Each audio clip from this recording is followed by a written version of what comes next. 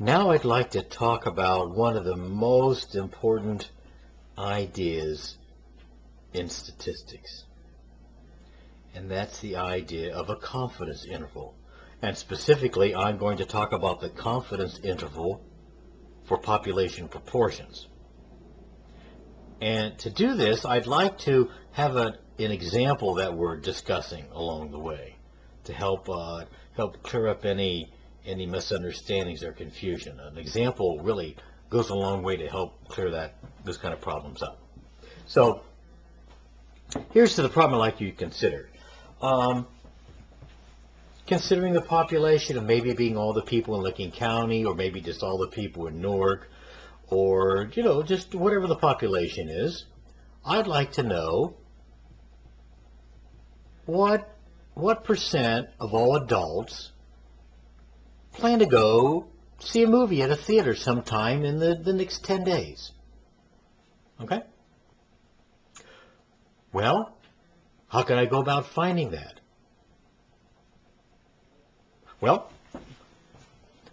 I would decide to maybe get a sample of, just say, 10 adults, chosen at random, and here's the question I'd ask them.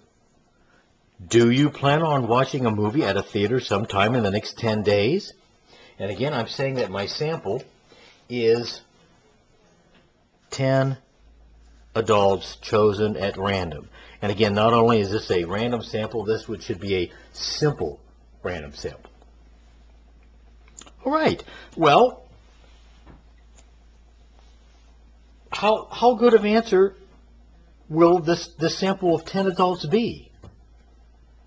Can I expect that that the, the, the, the proportion of of these 10 adults that plan to go see a movie in the next 10 days is going to be anywhere close to the actual number, or at least not number, but the portion of adults of adults in the area that are going to go see a movie? Well, let's let's answer that question by taking a look at what the distribution of, of samples of size 10 would look like. Okay? So here here we have all the values 0 to 10, and x, my random variable x, is going to count how many people out of 10 say yes, they are going to go see a movie. So let's say uh, I took a sample and that answer turned out to be 5. So I could make a little mark here. That sample said, said 5 are going there, okay? And let's say I went out and collected another sample of 10 adults, and let's say 7 out of those said they were going to go see a movie in the next 10 days. Now, before we go any further, let's stop and let's say that somehow we have a magic crystal ball or we, we are psychic and we, we know the answer to this. We, we are demigods sitting up above looking down and we happen to know that the actual number, uh, not number, but proportion of people that are going to go see a movie in the next 10 days, let's say we know that is 60%. Okay?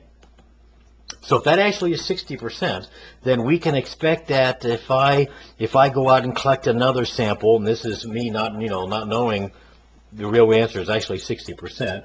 If I collect, I go out and get another sample. Let's say this time four say uh, they're going to go see a movie. Next time, let's say six say it. Okay, and if I continue getting samples and placing in here, these are the different results from each of the sample. Each of these x's represents a sample's result okay? And let's say another one says, okay, 9, and we say it's here, and another one says 7. Let's just keep going on, collecting more and more samples, and um, more and more, more and more, and because I, I, I know as, as uh, sitting up ahead that the proper answer is 60%, then uh, I can expect to probably get more of those than anything else. So let's, let's say another one is only only three out of ten say they're going to go see a movie. Okay, and we get one of these and these, and uh, let's see, this keeps going up here like this, and I'm just collecting more and more samples. Oh, finally we got here. We had a sample in which 10 out of all 10 adults said they were going to go see a movie. We expect that to happen very often? No, not, not very often. So here we go. We got some more. And how about uh, over here? Yeah, we had one sample that only said two um, we're going to go see a movie. Okay, we got one here, and we got one here, and here, and let's say one out here, and uh, there, and there, and there, let's say, uh, say that's it, okay? I don't know how many that is. That's going to be 30, 30 some samples if we counted them. Doesn't matter. Um, that's pretty much what the distribution of the sample results would look like. Right there. And you're looking at that and you're saying, hey, that looks like a normal distribution. Well, no, it's not a normal distribution. This is a binomial probability distribution. These are discrete values. These aren't continuous values. Either nobody or one or two or three people are going to go see movies. You can't have 5.6 people going to see a movie. These numbers have to be whole numbers and nothing in between. Discrete values, and there were exactly two possibilities. You're either going to go see a movie or you're not going to go see a movie. This is a binomial distribution, not normal. However, you should recall, though, that a binomial distribution does sort of take on the shape of a normal distribution. Notice it's not centered, it's a little bit skewed. We get the, the biggest value of 6, not 5 in the middle. And that's because we're saying that we happen to know that the actual answer for the whole population is 60%. So this is what my distribution would look like. Now, as well as looking at x values here from 0 to 10, could we also say down here that this represents 0% of all the all of all 10 of them, and this this 10 would represent 100% of all of them. Of course, 5 out of 10 would be 50%, and uh, 7 out of 10 would be 70%. I could, I could fill all of these in with percents. So I'm saying I really don't have to specifically talk about 0 to 10. I can also express it in terms of percents down along here. And in the same way, I don't have to let these x's represent countings. I can change this frequency into an actual relative frequency, which is a probability and my shape is going to be exactly the same. In other words, if I'm saying this line here is not counting 1 or 2, but counting, you know, the probability of it occurring as being 1%, then maybe this may go all the way up to maybe 25%. Is that readable, 25%? Okay? So what I'm saying is, if th this can apply to any sample size, instead of having a sample of 10, I could just easily have a sample of 100 people, and I could still, instead of writing my numbers from 0 to 100, still just have my 0 to 100% down on the bottom here, and my probabilities wouldn't change at all from uh, 0% to 1% probability clip to 25%, and my tallest one would necessarily be whatever 60% is. If it's from 0 to 100, then this would be 60. 60% is 60 out of 100. This shape would not change at all, no matter how big my uh, sample size is. Now,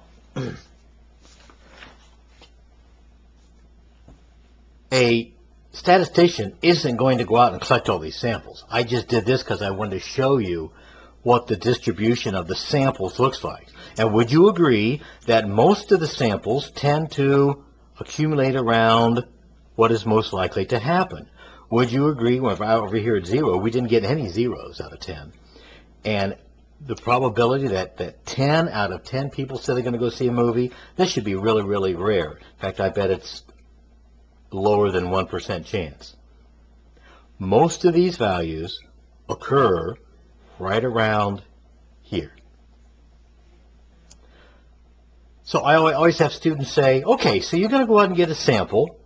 What what's the what's what's what what makes you think that that sample is going to be anywhere close to what the the proper answer would be for the whole population?